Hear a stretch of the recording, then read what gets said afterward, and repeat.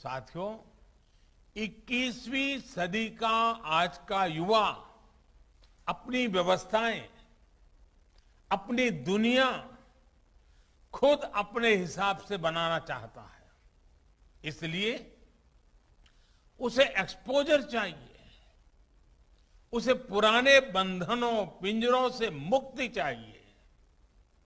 आप देखिए, आज छोटे छोटे गाँवों से कस्बों से निकलने वाले युवा कैसे कैसे कमाल कर रहे हैं? इन्हीं दूर दराज इलाकों और सामान्य परिवारों से आने वाले युवा आज टोक्यो ओलंपिक्स में देश का झंडा बुलंद कर रहे हैं। भारत को नई पहचान दे रहे हैं। ऐसे ही करोड़ों युवा आज अलग अलग क्षेत्रों में असाधारण काम कर रहे हैं। असाधारण लक्ष्यों की नींव रख रहे हैं। कोई कला और संस्कृति के क्षेत्र में पुरातन और आधुनिक के फ्यूजन से नई विधाओं को जन्म दे रहा है। कोई रोबोटिक्स के क्षेत्र में कभी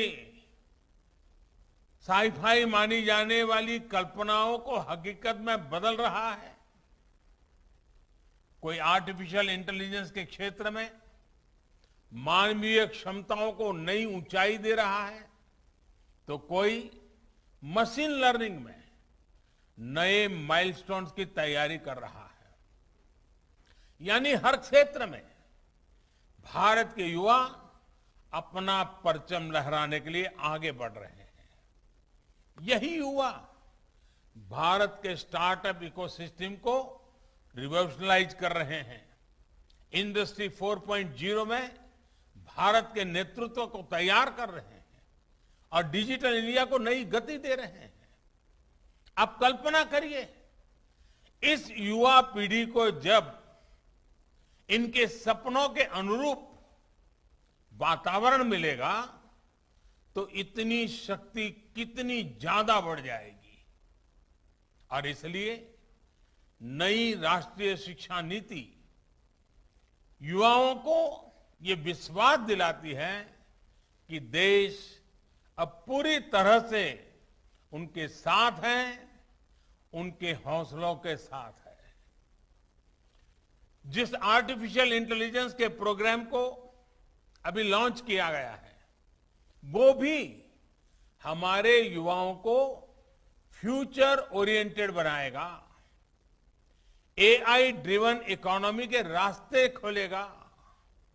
शिक्षा में ये डिजिटल रिवॉल्यूशन पूरे देश में एक साथ आए। गाँव, शहर सब समान रूप से डिजिटल लर्निंग से जुड़े, इसका भी खास ख्याल रखा गया है। नेशनल डिजिटल एजुकेशन आर्किटेक्चर यानी एनडीआर और national education technology forum NETF इस दिशा में पूरे देश में डिजिटल और टेक्नोलॉजिकल फ्रेमवर्क उपलब्ध कराने में अहम भूमिका निभाएँगे। युवा मन जिस दिशा में भी सोचना चाहे, खुले आकाश में जैसे उड़ना चाहे देश की नई शिक्षा व्यवस्था उसे वैसे ही अवसर उपलब्ध कराएगी।